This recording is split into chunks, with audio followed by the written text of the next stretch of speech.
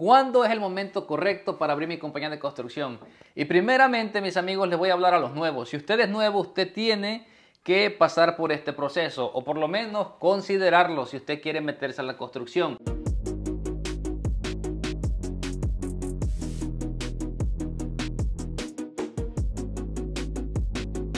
Primero que nada, usted se tiene que asegurar que la construcción es una industria que a usted le gusta. Porque si a usted no le gusta ensuciarse las manos, mis amigos, o mover una taza, o checarle la plomería al cliente, entonces usted no está en el negocio correcto, no está en la industria correcta, para que usted se pueda mover al siguiente paso. El siguiente paso, mis amigos, es el decidir en qué oficio usted se quiere meter. Puede ser pintura, puede ser roof, puede ser carpintería. Si usted va empezando, tampoco se puede ir a empezar a abrir una compañía de construcción cuando ni siquiera sabe ningún oficio en esta industria.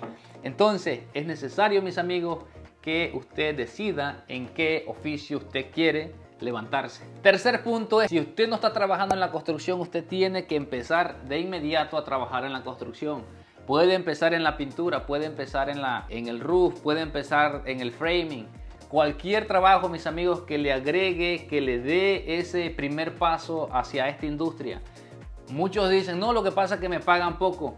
Míralo de esta manera, mis amigos. Cuando uno va empezando, uno tiene que eh, sacrificar ese tiempo, uno tiene que saber que está ahí para aprender. No nos van a pagar lo que le pagan a un profesional, no nos van a pagar lo que le pagan a alguien que ya tiene 10, 15 años en la industria.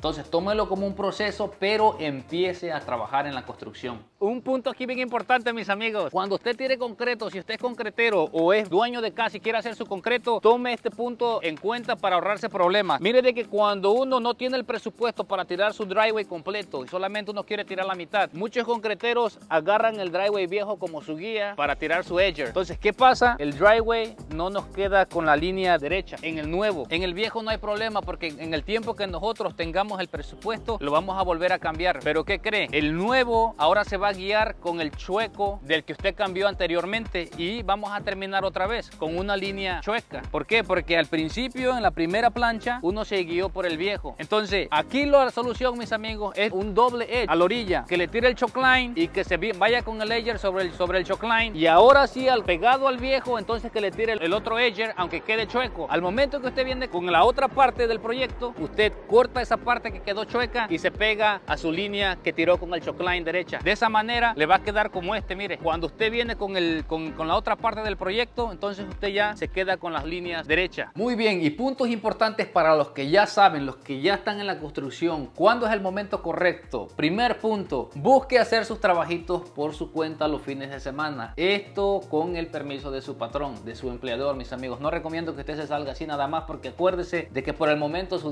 su familia depende de un trabajo, su, eh, su renta, sus gastos tienen que suplirse cada mes y usted tiene ese trabajo seguro ahí con su patrón, cuídelo y eh, pídale permiso, posiblemente los sábados, los domingos. A muchos no nos gusta trabajar los fines de semana, pero si usted quiere empezar su negocio, tiene que hacerse ese tiempo. Pero de esa manera usted se verá haciendo de una clientela que al momento de que usted decida dar ese paso de independizarse, usted ya va a contar por lo menos con unos 10, 15 clientes que van a saber de su buen trabajo, ya han trabajado con usted, lo van a recomendar con el amigo. Cuando usted se independice, no va a empezar desde cero. Segundo punto, mis amigos, sea honesto consigo mismo. Ya sabe el oficio usted, porque si no lo sabe, mis amigos, no lo haga solamente por, por interés, no solamente porque quiere dinero extra los fines de semana. Hágalo porque verdaderamente usted está seguro de que puede dar un buen servicio al cliente. Sea honesto, hágale buen trabajo que este cliente es el que lo va a seguir recomendando. Porque deshonestidad en esta industria, mis amigos, es la peor reputación que usted puede tener. Los clientes jamás le van a confiar en un trabajo. Incluso amigos, si usted a un amigo le dice, sabe que yo sé hacer eso, pero a la hora de la hora usted no sabe, ese amigo ya no se lo va a tomar en serio. Lo mismo pasa con los clientes. Entonces, segundo punto, sea honesto y entregue trabajo de calidad. Y el tercer punto, mis amigos, no tire la toalla. Si ya empezó, sígale dando, va a venir el invierno, va a bajar el trabajo, no venda su herramienta, no venda su ven, aunque le ofrezcan, aunque le digan. Como le digo, en tiempo de verano, ahorre su dinero, administrelo bien, porque como vamos empezando, no va a haber trabajo